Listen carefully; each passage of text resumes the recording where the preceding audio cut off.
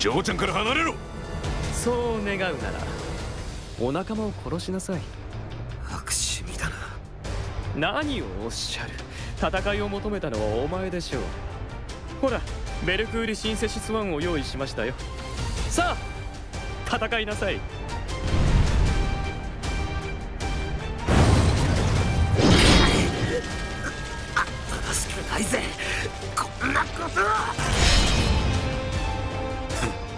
うか？言ったはずだ。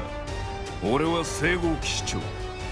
部下を守るためならお前さんを切ることに躊躇はねみんな下がってくれ。ベルクーリさんとは俺一人で戦う。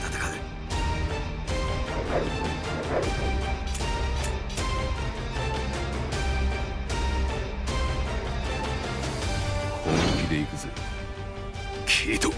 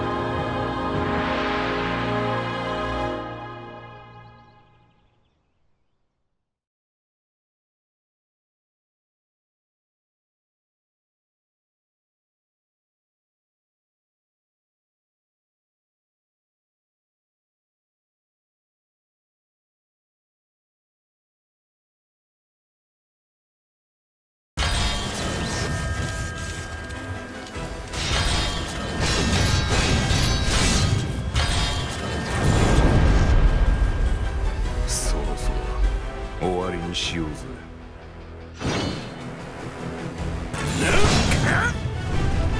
キリト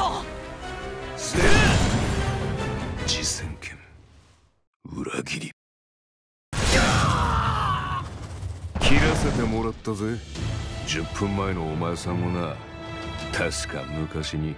お前さんの未来は切れないと言ったな。だが過去ならどうだ？過去はどうあがこうが存在する？何があろうと消しようがないだろう？存在ただ私には過去など。あの一撃を狙うためだったんですね。あまりに激しい切り合いに見抜けなかった。俺自身もこのままベルクーリさんに切られるんじゃないかとヒヤヒヤしたよそりゃお互い様だ。